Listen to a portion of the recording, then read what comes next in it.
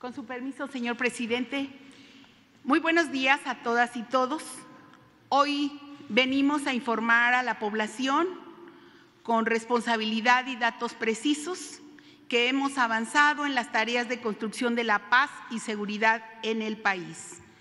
Como cada mes, por instrucción del señor presidente, presentamos el informe en materia de seguridad que es producto de la coordinación y colaboración con los gobiernos de las entidades federativas, de los municipios y de todas las instituciones del Gabinete de Seguridad para dar resultados a la ciudadanía y construir la paz que queremos para las familias mexicanas. En este informe se muestran los datos que al 31 de agosto envían las 32 fiscalías estatales al Secretariado Ejecutivo del Sistema Nacional de Seguridad Pública. Hoy vivimos mejores condiciones de paz y queda de manifiesto que la Estrategia Nacional de Seguridad funciona. Cada gobierno y cada dependencia hace su trabajo con retos, pero también con avances evidentes. Es un logro colectivo con beneficio de la población. El corazón de la Estrategia Nacional de Seguridad es la atención a las causas que generan la violencia. Y esto se hace también a través de las mesas de paz en las 32 entidades. Seguimos coordinando acciones para combatir a todas las estructuras criminales, para que haya cero impunidad y cero corrupción. Eh, pasemos a las cifras.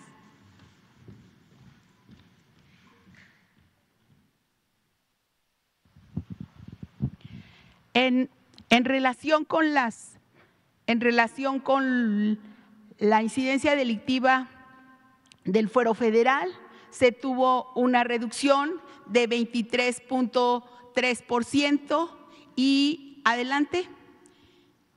Eh, en casi todos los delitos hubo reducciones. Adelante y en el homicidio doloso disminuye 14.6%.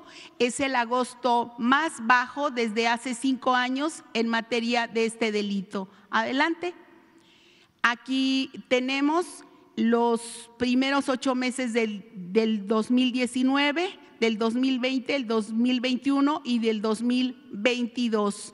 Eh, son los ocho meses de enero a agosto y aquí están los promedios diarios y con relación a los anteriores tenemos una disminución de menos 8.4, de menos 12 y menos 10.6% de los tres años anteriores. Adelante.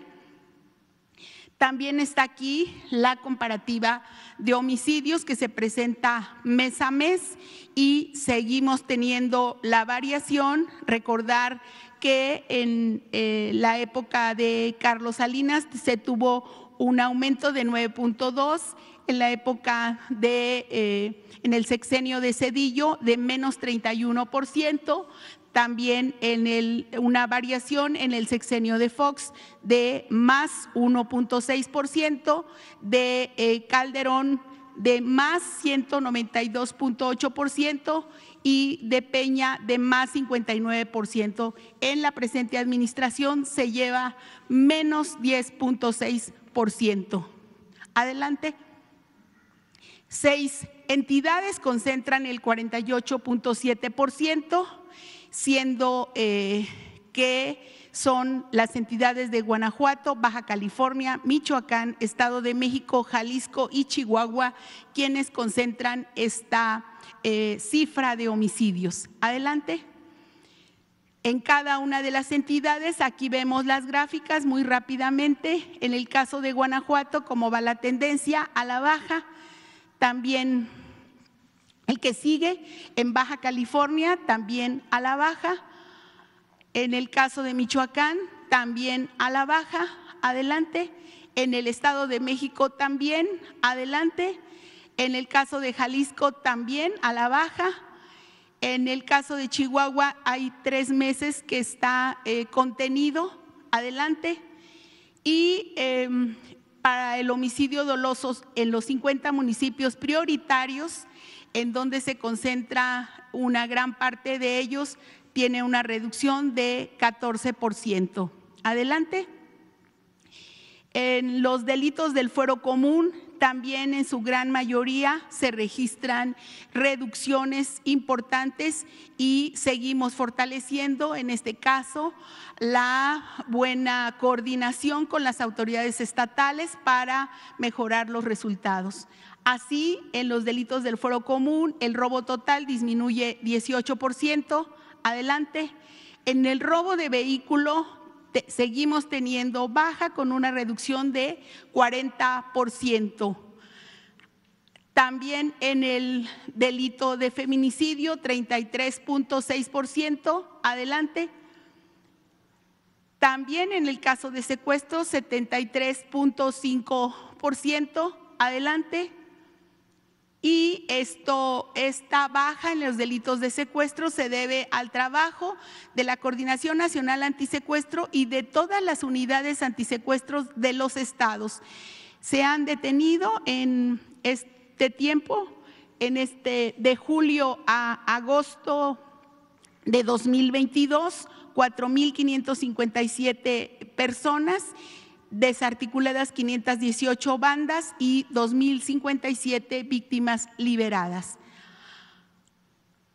Eh, solamente mencionar a grandes rasgos las acciones de prevención que se llevan a cabo en los 50 municipios prioritarios, como las redes de prevención con estudiantes de secundarias y estudiantes de nivel medio superior que tienen que ver con eh, prevenir las violencias y las adicciones. También el desarme voluntario se continúa y otras acciones como por ejemplo tianguis de bienestar. Adelante.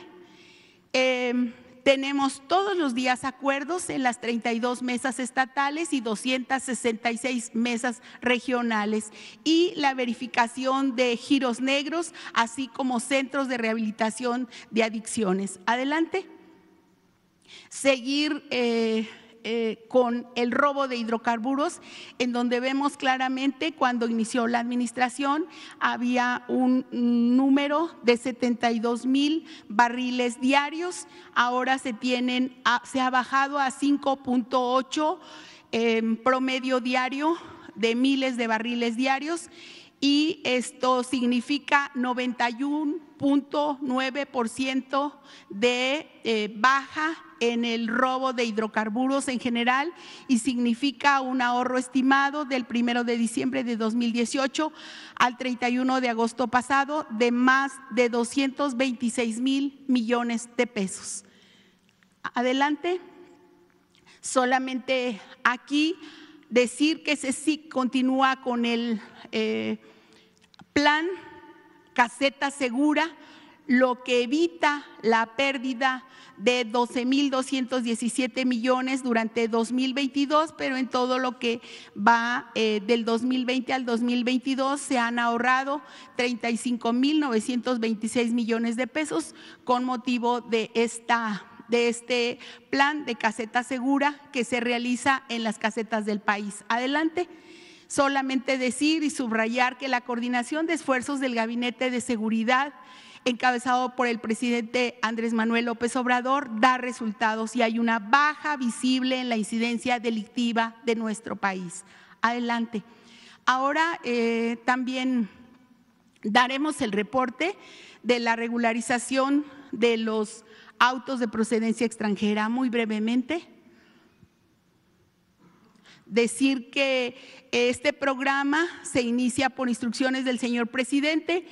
Eh, se aplica para modelos 2016 para atrás que ya están en nuestro país. Este programa tiene tres objetivos, dar certeza jurídica y patrimonial a las familias eh, en la propiedad de sus vehículos. Dos, sacar del anonimato a los vehículos extranjeros irregulares que son usados en la comisión de los delitos.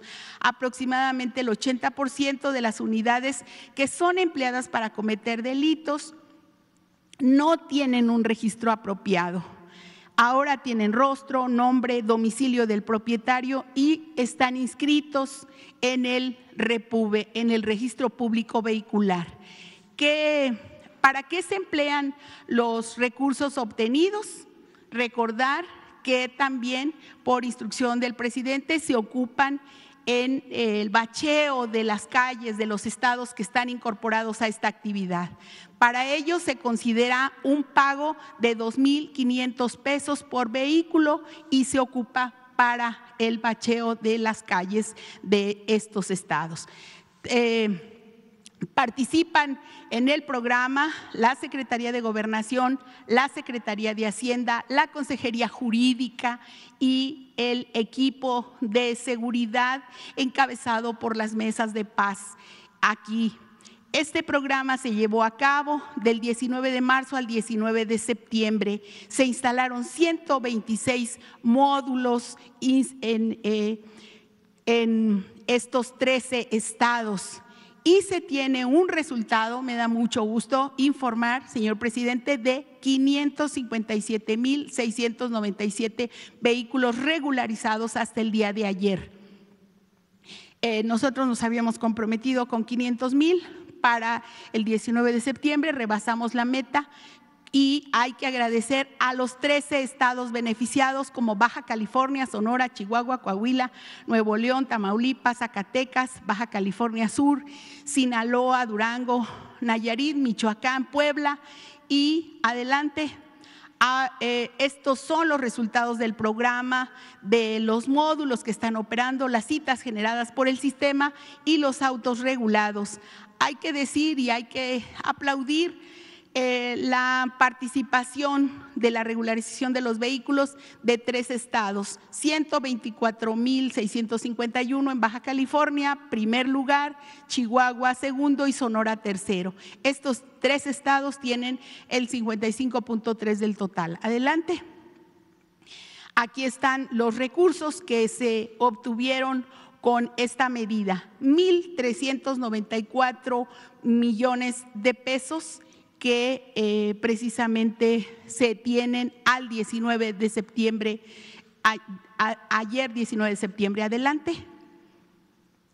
Entonces, eh, el anuncio que por instrucción del presidente es que dado la demanda de más citas, eh, ayer en la tarde se publicó el decreto que amplía el plazo del programa al 31 de diciembre y además también por instrucción del señor presidente, se agrega el estado de Jalisco a la lista donde habrá módulos de atención. Adelante.